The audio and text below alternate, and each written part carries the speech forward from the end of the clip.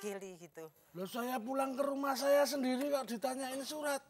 Dari mana? Nggak pakai helm lagi. Loh, ini gitu. Kalau surat hutang saya banyak, Bu. Apa Ibu mau bayarin utang-utang saya itu? Wow, saya sendiri juga banyak utang ke bank ya. Ibu ini kan polisi sahabat rakyat. Mbok ya utang-utang saya dibayarin. Saya ini juga hidup pas-pasan kok, Pak. Oh, pas toh. Pas. Beli mobil pas, beli rumah pas. Jadi pas-pasan semua. Seneng aku. Polisinya jujur. Tapi pasti pangkat rendah. Polisi seperti beliau ini pasti rekeningnya kurus. Kalau pangkatnya tinggi, rekeningnya gendut. Ya. Rekening kerus, badannya yang gendut. Ini ada apa ini, Bu? Eh, ini tadi saya lihat kok gregeli naik sepeda motor. Oh gitu orang Terus dia jalan pakai- aja gregel loh. Iya. Pakai helm. Makanya Ya, saya... ya, ya. Ini memang, memang Saya dia tegur. pasti bikin salah itu. Bu, nama siapa, Bu? Saya Dina HP, Pak. Oh, jualan HP. Bukan. Apa? Ibu Dina HP. Dina HP. Oh. Sudah berapa lama jadi polisi, Bu? Baru 29 tahun. Oh, baru aja sudah. Baru 29 tahun. 29 tahun. Ceritain dulu suka dukanya gitu, tapi banyak sukanya eh, subur gini ya. Gimana gimana, Bu? Kalau di kepolisian tuh sukanya banyak. Oh. Karena ketika saya jadi jadi polisi, wah serius sih kira. Tapi cerita nggak asik kalau berdiri gitu, Mbak. Dipersilakan. Oh, Bu. iya. monggo, monggo. Saya biasa sambil berdiri kok. Ah, iya, Bu, toh. yang berdiri itu saya. Sudah mengabdi 29 tahun. Oh. Saya bersyukur sekali karena di situ saya boleh boleh ini boleh meneruskan atau mencari pengalaman pengalaman, pengalaman atau sekolah-sekolah untuk menunjang karir Oh. yang lebih tinggi. Itu sukanya. Dukanya, Bu, dukanya. Dukanya ya tanggal tua. Bedanya tadi waktu kamu diurus sama beliau tadi, bedanya sama polisi-polisi lain apa itu? Bedanya? Ya, ya, ya. Nggak ada bedanya. Ya. Lah wong polisinya juga ngumpet dulu. Habis ngumpet nangkep. Oh. Asik. Ibu Dina ini kan tidak seperti kebanyakan polisi yang kadang-kadang selalu bilang, Amin. Selalu Habis bilang itu amin. saya kira bancaan. enggak. Kan sering kalau di jalanan itu yang prit gitu. Kalau polisi sudah main prit lalu bilangnya, wani piro. Weh. Masa Wah, wah. begitu sih? Iya. Oh, Masa? orang Benyamin almarhum aja ya. Bilangnya apa? Nyanyi. Ecek, ecek, ecek, wow. Ciku, ciku, ciku. Ah, gitu. Jadi bangsa ini kan membutuhkan banyak orang yang harusnya tulus. Ah. Ya seperti ibu ini tulus mengabdi. Juga seperti saya, tulus mengabdi. Ya, secara pribadi saya selalu kagum pada siapa pun yang mengabdi, memberikan yang terbaik bagi bangsa ini, ya kan? Apalagi kalau menyangkut seorang perempuan atau ibu. Waduh. Soalnya kan hari ibu tadi. Ah, gitulah. Ada hari Ada hari ibu. bapak nggak ya? Nggak ada.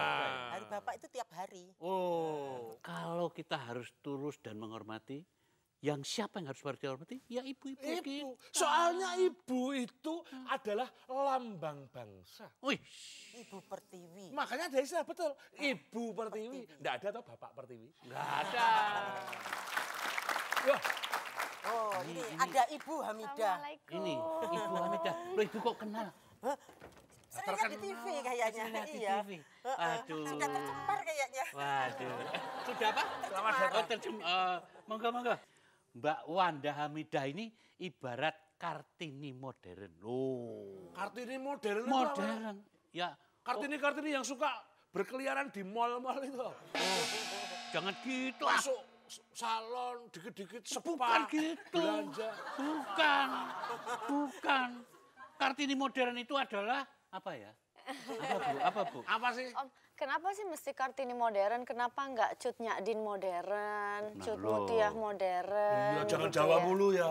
Iya ya, karena Kartini itu kan eh, sifatnya kasuistik ya, gitu. Tapi kalau menurut saya sih sebetulnya yang kita anggap Kartini sekarang sih sebetulnya udah dari zaman dulu bahkan sebelum sebelum Indonesia merdeka udah banyak Oh, Ini dari Kartini dulu modern. Ya, Bu, jadi sekarang kira-kira siapa duluan deh?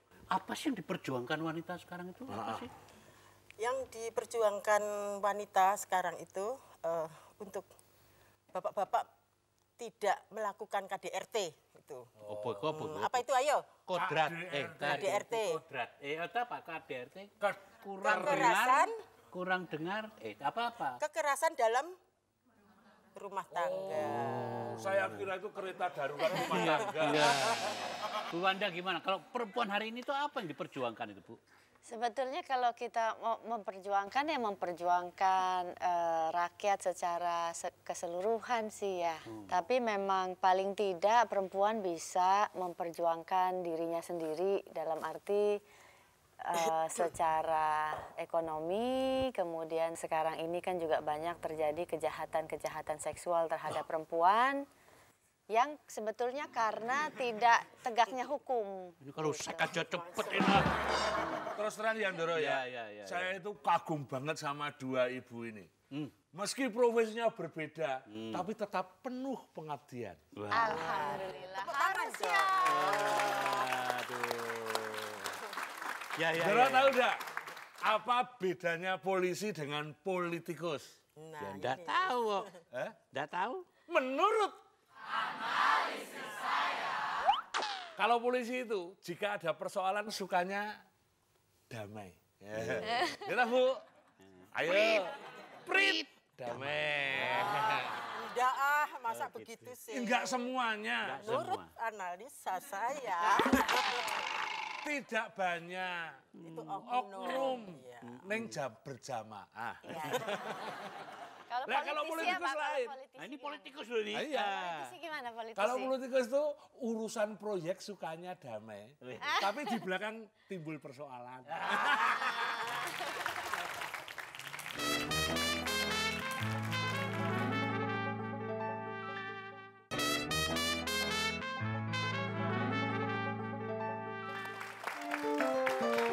Hebat, hebat.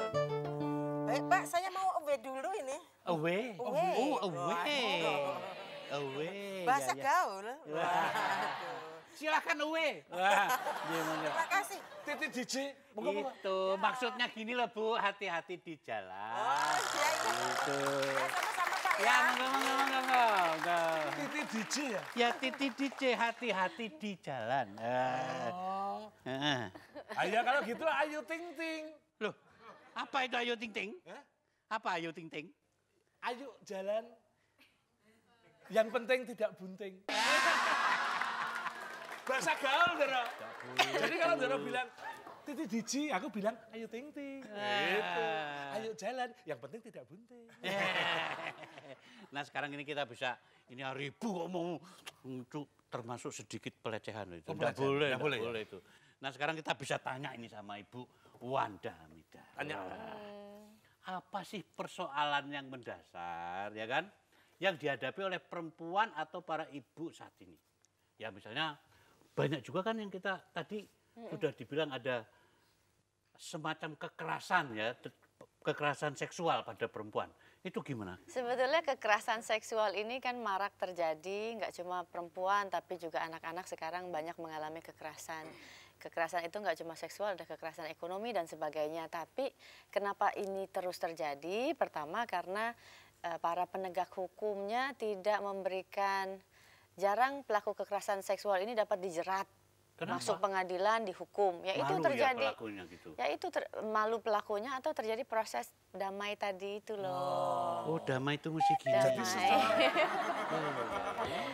Kasus pelecehan kekerasan seksual di dalam transportasi umum. Misalnya, Misalnya gitu loh, naik bis bokongnya. Aku makanya dulu pernah bercita-cita jadi kernet kok. oh ya ya ya ya ya.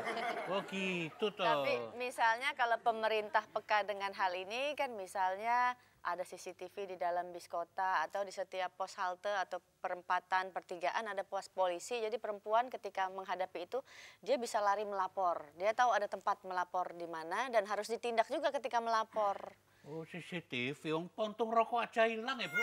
Iya kan? sih. Oh, dibuat. Oke, persoalan gender ini Bu ya. Apakah dalam dunia politik itu juga dirasakan misalkan ada kebijakan publik yang tidak pro perempuan?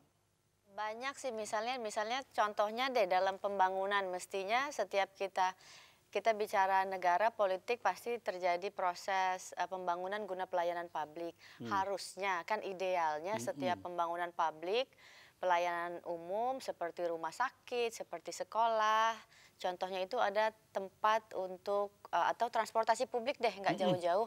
Misalnya mendahulukan uh, perempuan hamil, orang tua gitu. Ini kan Kok, sekarang kok orang tua terus lihat saya Bu? Enggak, saya kuat masih kok. Ya, ya, ya, lalu gimana Bu? Ya, ya. Muda. gitu kemudian para Lalu pe- tempat ibu eh, menyusui penyandang kan di sebuah- disabilitas iya, betul iya, gitu iya. berarti kan kalau dalam kenyataan yang nggak ada ya pembangunan kita belum berperspektif belum kepada. berpihak kepada Oh, Perempuan. begitu. Jadi Betul, memang betul. belum masih masih tidak ber- berorientasi ya pada be- itu. belum maksudnya kota atau eh, apa negara ini belum aman dan nyaman buat nggak cuma ya perempuan anak terus penyandang cacat dan lain-lain mestinya kan itu sudah dipikirkan dalam pembangunan Kalau bicara soal nasib perempuan ya, Hmm. terus terang saya itu paling prihatin dengan soal kesehatan. betul Kok tumben kamu peduli sama Iya. kesehatan? ah? Apa kamu juga termasuk kurang sehat gitu ya? Hah? Jangan-jangan kamu termasuk golongan yang badannya itu setengah sehat jiwanya gitu loh. Gimana gimana? Mau bilang aku edan. Enggak ya. Gimana gimana gitu. Eh, bukan gitu. Doro ini sukanya ngeledek saya. Saya itu peduli soal kesehatan, terutama soal kesehatan ibu dan anak. iya Betul tak Bu? betul Nah, kita satu front. Soalnya di negara kita itu termasuk tinggi. Sebab menurut ibu, ini soal persoalan seperti ini, ya, ini bisa berdampak pada pertumbuhan penduduk. Iya. Betul. Hmm. Soalnya kalau nanti ibu yang melahirkan itu meninggal, Hmm. kalau sampai ibu-ibu yang harusnya melahirkan itu pada meninggal, ini kan repot. Suaminya itu jadi duda, akan kawin lagi. Punya anak lagi, berarti jumlah penduduknya tambah banyak. Dampaknya ke sana. Jadi kesehatan ibu dan anak itu penting. Wah, saya kalau ngomong sama pembantu tuh bingung. gitu. Nggak jelas gitu loh. Ini gimana nih? Jadi bagaimana soal kesehatan tadi? Ini, betul. Soal, ya, Iya gimana betul. Sekarang birokrasi.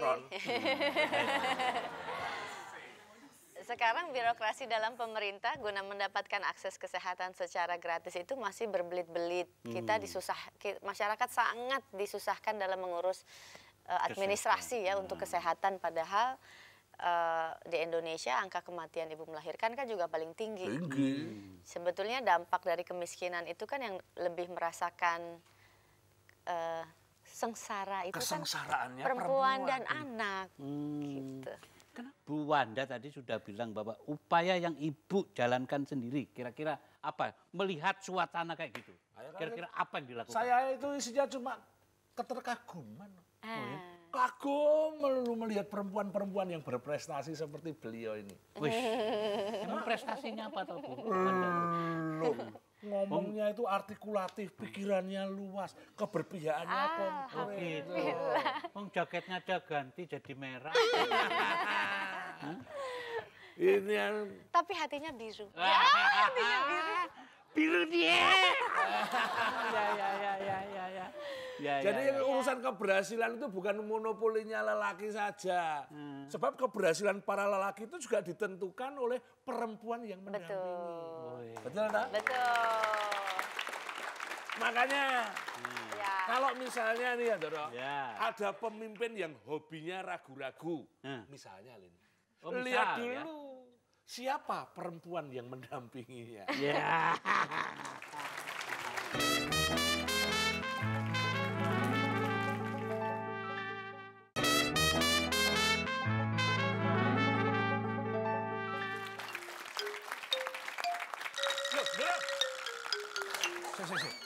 ada badut ke sini? Loh, mana? Doro, Oh saya toh? tuh, tuh. Daron mau nanggap badut ya? Itu sepatu apa asbak? Daron ulang tahun ya? Wah, udah Loh, seperti gini. katanya, ke- katanya ada yang namanya Sentilun mau ulang tahun. Panggil badut. Badut ya? Memang badut beneran? Bukan, ini ba- badut-badutan. Tadi itu saya itu loh yang ke sini habis nangkep sampean itu tadi. Hah? Doh, gak percaya? Bisa Hah? memperagakan apa? Pengen tahu? Nah, Saya kasih satu aja ya. Coba. Sulap. Ye. Mau nggak? Geleman. apa itu? Ini adalah sapu tangan. Nah, terus Ditusuk-tusukkan. diikat dulu. Ora. Ini ya. Satu. Dihitungin Don. Satu. Satu. Bem salah bem. Ya. Ayo ikutin. Nah, ini dia. Kalau badut beneran itu gerakannya memang lucu-lucu ya. Apa yang disajikan lucu. Beda sama badut-badut yang di Senayan itu. Lu ada tuh. Ada, Senayan itu gimana, kan pusat badut. Oh.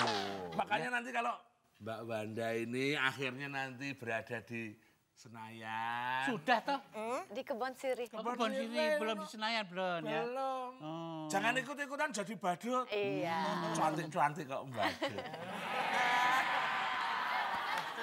Tapi Siap. saya mulai curiga sama badut yang satu ini. Yang ini. Ya. Curiga boleh asal tidak menuduh. Eh, Oh saya tuduh sudah, sudah menuduh. Gimana tuh? Bobotnya sama sama yang datang tadi pagi. Yang pertama tadi. Iya. Yang mana? Yang Nggak tahu tadi yang nangkep sentilun tadi. Curiga ini buka ada. Coba dibuka ah. Ininya ini hidungnya itu loh. hidungnya loh ini.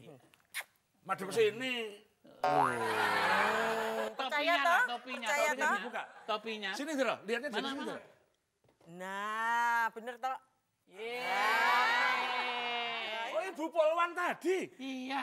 Ya Loh, masa baru lihat? Dilihat dari suaranya, modulasinya aja kan sudah tahu. Kalau Ay. Yang sampingan polisinya apa badutnya ini kalau gitu? Meskipun berprofesi sebagai polwan, Mm-mm. Ibu Dina juga menjadi badut. Yang tujuannya Ya. menghibur anak-anak dan menyampaikan pesan-pesan moral terhadap masyarakat. Eh, tepuk tangan dong. Mau coba? Kalau ibu pas mengatur lalu lintas di jalan itu pakai kostum badut. Pasti pengguna jalan pada seneng loh. Iya, terus macet tabrakan malah. Itu kan malah mengurangi jumlah penduduk. Sudah, sudah ya. Saya kira menarik sekali profesi badut yang ditekuni oleh ibu ini. Ya. Tuh, Menarik kan? Sebagai polwan, lo bayangin tuh. tuh. Juga sebagai badut.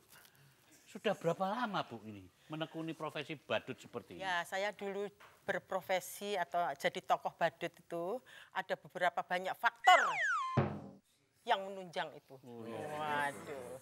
Salah satunya hmm, mendampingi anak saya ketika anak saya jadi artis cilik. Yang kedua, ya memang untuk tambahan uang susu. Nah, Ini pendapat Mbak Wanda tentang profesi ganda ini gimana? Kalau menurut saya eh, profesi di eksekutif, di legislatif seperti saya, di yudikatif se- sebagai polisi dan sebagainya ini tiga profesi ini adalah profesi pengabdian. Hmm. Jadi nggak boleh pengen kaya. Kalau cita-citanya kaya nggak boleh masuk ketiga profesi ini eksekutif, yudikatif, legislatif. Pengen, harusnya pengen apa dong? Nggak boleh pengen, pengen, kaya? Oh. pengen mengabdi, pengen melayani masyarakat. Dan eh, kalaupun profesi ganda maksudnya ya asal tidak profesi yang bermartabat, tidak merugikan rakyat dan di luar jam kerja yang sudah ditentukan ya. Ya ini kalau di dunia spionase kan ada istilah agen ganda. Wish. Nah, kalau di dunia Double telekomunikasi agent. ada istilah agen pulsa. Wish. Nah banyak sekali perempuan kita yang sebenarnya merupakan agen perubahan, tapi juga punya profesi ganda. Seperti Ah, Iya, ada yang jadi ibu rumah tangga, tapi sekaligus jadi direktur di sebuah perusahaan. Ada yang jadi artis, tapi sekaligus politisi. sudah tidak ya. Bella, Ya boleh aja berprofesi ganda asalkan tidak berwajah ganda. itulah Ndoro. Sudah saatnya sekarang ini kita harus sungguh-sungguh menghargai perjuangan para perempuan seperti ibu-ibu ini. Sebab ya kalau ingat dulu Bung Karno itu bilang bangsa yang besar adalah bangsa yang menghargai para pahlawannya. Tuh. Maka kalau menurut saya Oh. karena ini lagi hari ibu, saya akan bilang bangsa yang maju adalah bangsa yang menghargai perjuangan para ibu dan perempuan. Gitu.